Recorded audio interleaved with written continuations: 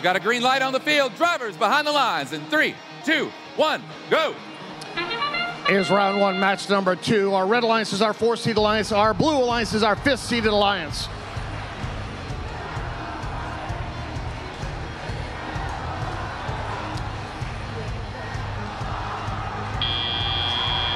And we did an auto phase here. The fifth seed alliance has 69 in blue, 48 for our red alliance. Student drivers take control of the robots. Both alliances working on algae. Red alliance, they have two balls, two algae bouncing off of the bar and back onto the field. 1756, they're trying to grab an algae. Unfortunately, they temporarily knock themselves into the Red Alliance reef. They get that algae out. 116 to 68, our fifth seed alliance on blue, taking an advantage here. 231, we have a dead robot, OnyxTronix, Rico from Israel. Up, oh, no, they wake back up. They were temporarily stunned there over by the blue Alliance Station wall, and they're back in business right now. 132 to 97, blue has a lead with a minute 24 to go.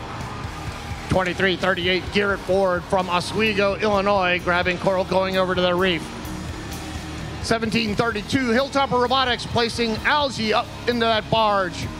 1734, mainly doing algae right now while their two alliance partners work on their reef.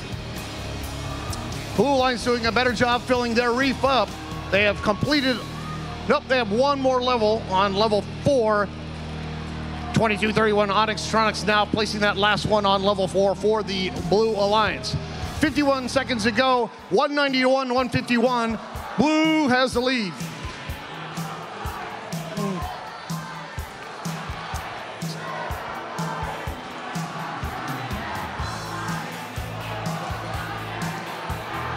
Blue Alliance about ready to place the very last coral here onto the blue reef. Blue is now down to level one only. 1732 for the Red Alliance Hilltopper Robotics, placing algae directly up. 20 to go.